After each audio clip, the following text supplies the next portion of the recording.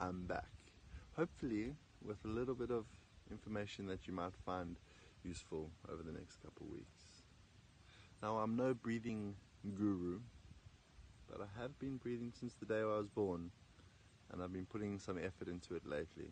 So, I just wanted to share with you if you don't do any sort of meditation or any sort of breathing exercises on a daily basis, this video is going to really, really help you.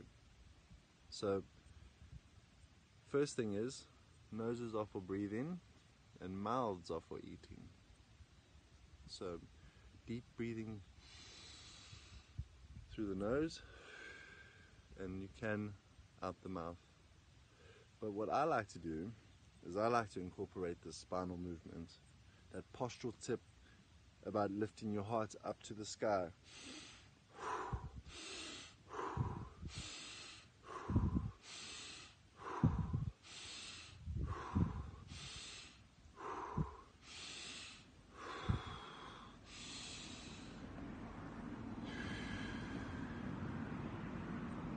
Setting your timer and doing this for five to ten minutes is going to make a drastic shift in the way that you feel in your body.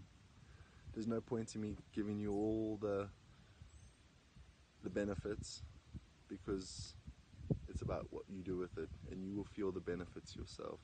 So give it a go. Set your timer for 15 minutes.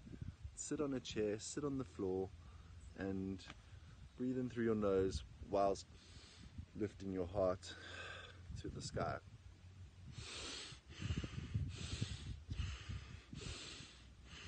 without a doubt, it's going to make some changes, drop down the the stress, the anxiety that we're all feeling at the moment.